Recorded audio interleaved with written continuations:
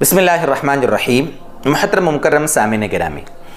आए दिन social media पर आप भी देखते होंगे कि हज़रत महदी आली रिजवान के बारे में बातें चलती रहती हैं कि 2023 में आ जाएँगे, कि 24 में, कि 25 में। बल्कि अभी हज़रत पीर तरीक़त मौलाना दामद बरकत हम पीर जुल्फ़ार दामद बरकत हम जो पड़ोस मुल्क के बड़े अल्लाह वाले हैं, उनके बारे में भी एक सोशल मीडिया पर एक वायरल हुआ था मैसेज कि वो के फरमा रहे थे कि 2025 में, कसम खाकर फरमा रहे थे कि 2025 में आ जाएँगे इमाम महदी। अब वो खैर मैंने तो देखा नहीं है, लेकिन सोशल मीडिया पर ये बातें चली और लोग हमसे पूछते हैं तो सोचा कि ये हज़रत इमाम महदी के सिलसिले में, हज़रत महदी आल रिजवान के सिलसिले में सही बातें उम्मत के सामने लाई जाएँ। देखिए, सबसे पहली बात तो ये समझ लो दोस्तों, बुज़ुर्गों, कि हज़रत इमाम मेहदी आलि रिजवान, उनको आप आलि सलाम ना बोलें, बल्कि आलि रिजवान बोलें। ओलमा ने लिखा है इस तरीके से। और वजह ये बताई है कि चूँकि उनको रज़ी अल्लाह या आलि रिजवान इसलिए बोला जाएगा या बोला जाता है, ये हमारे बुज़ुर्ग लिखते हैं, उसकी वजह यह कि वो हज़रत ईसा के ज़माने में होंगे। और ईसा सलाम चूँकि अपने ज़माने के नबी हैं, इसलिए चूँकि नबी को उन्होंने देखा है और नबी के सपोर्ट करेंगे और नबी का साथ देंगे, इस वजह से उनको आलि रिजवान बोला जाए सलाम ना बोला जाए। एक बात ये जहन में आ गई, थोड़ी उसको आपके सामने ज़िक्र कर दिया। तो हज़रत इमाम महदी का जो जहूर होगा ना, वो कोई ढका छुपा नहीं होगा, बरमला होगा ऐलान होगा।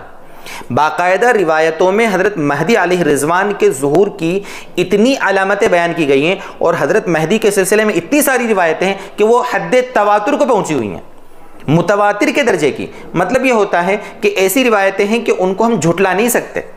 इतनी रिवायतें हैं। बाकायदा आपका नाम आपका नाम मोहम्मद होगा, हज़रत महदी का। आपके वालिद का नाम अब्दुल्ला होगा। आपकी वालिदा का नाम आमिना होगा। आप मदीने के रहने वाले होंगे। मदीने में आप पैदा होंगे। वहाँ से आप सफ़र करके मक्का तशरीफ़ लाएँगे। मक्का में आप यानी मक्का में आप पर लोग बैत करेंगे। बाकायदा जमज़म के, आब जमज़म के पास, हजर असवद के पास आपके हाथों लोग बैत करेंगे।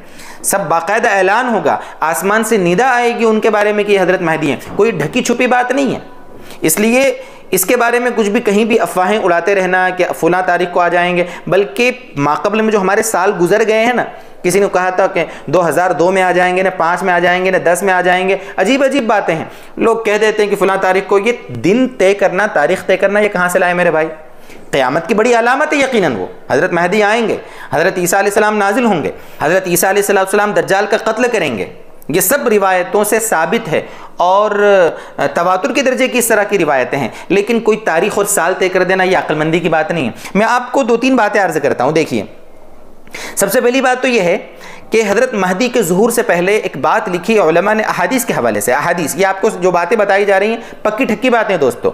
आपको दिल लगती बातें हैं ये, आपको हजम होंगी इन हज़रत महदी के जहूर से पहले एक बात बताई गई है रिवायतों में कि दरियाए फुरात खुश्क हो जाएगा, वहाँ से एक सोने का पहाड़ निकलेगा, जिसको लेने के लिए लोग एक दूसरे से जंग करेंगे और इतना कताल होगा कि सौ में से निन्यानवे लोग मर जाएँगे, निन्यानवे लोग कत्ल हो जाएँगे, एक बचेगा। हर एक चाहेगा कि मैं बच जाऊँ, लेकिन सौ में से निन्यानवे लोग उसकी जंग में मर जाएँगे। ये रिवायतों से साबित है। अब मुझे बताए दोस्तों बुज़ुर्गों, क्या दरियाए फुरात खुश्क हो चुका है? यकीन उसका पानी कम हो रहा है। यकीनन उसका पानी कम हो रहा है, लेकिन खुश्क नहीं हुआ है। तकरीबन तकरीबन तीन हज़ार किलोमीटर की ये नदी है, ये नहर है। कई मुल्कों से होकर गुजरती है, कई मुल्कों से।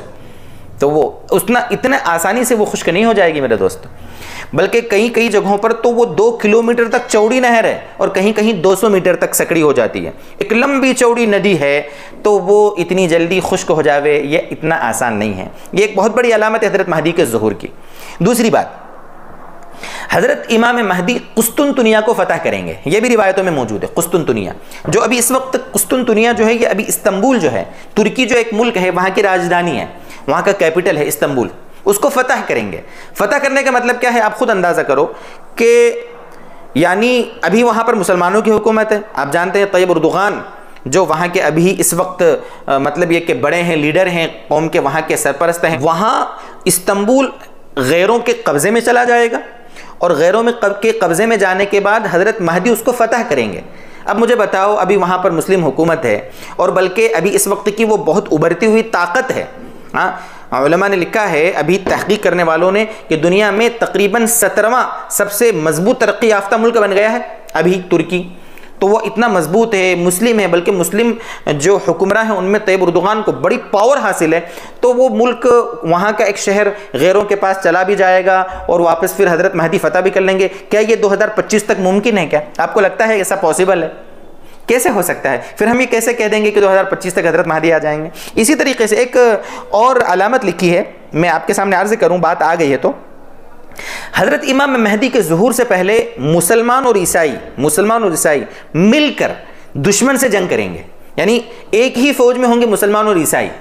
और दुश्मन से पर जब फतह याब हो जाएँगे, फतह पा लेंगे तो ईसाई कहेंगे कि हमारी सलीब की वजह से ये फतह मिली। और मुसलमान कहेंगे, नहीं, अल्लाह के फजल से मिली।